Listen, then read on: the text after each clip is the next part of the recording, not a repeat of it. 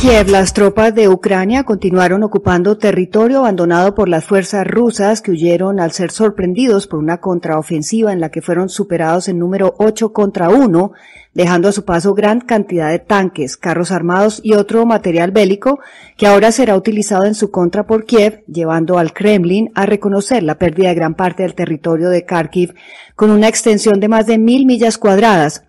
por su parte, el presidente Volodymyr Zelensky advirtió que los próximos 90 días serán determinantes para definir el futuro de su país y de Europa.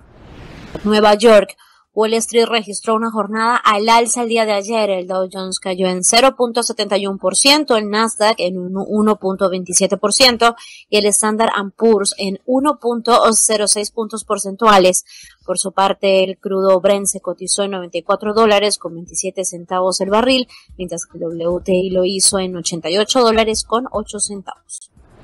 Londres, la economía británica creció en menos de lo esperado durante el pasado mes de julio, incrementando el riesgo de que ya se encuentre en una recesión debido al fuerte incremento en las tarifas de energía y de los costos de materiales de construcción.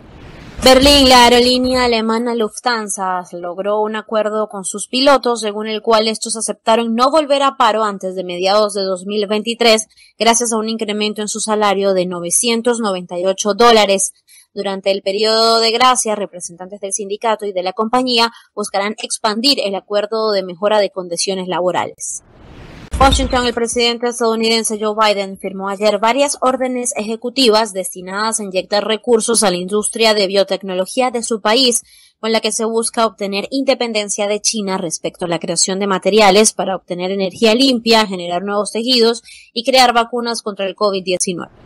Washington Bomberos en los Estados Unidos trabajan para contener las llamas de 92 incendios forestales grandes que se encuentran activos en la costa oeste del país, principalmente en los estados de Oregon y California y que han destruido hasta el momento 728 mil acres de terreno.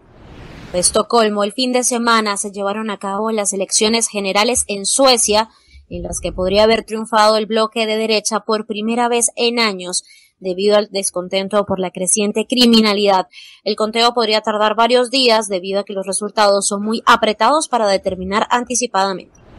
San John, el Estado caribeño de Antigua y Barbuda, anunció que someterá a las urnas la decisión de si se convierte o no en República Independiente del Reino Unido tras la muerte la semana pasada de la reina Isabel II de Inglaterra.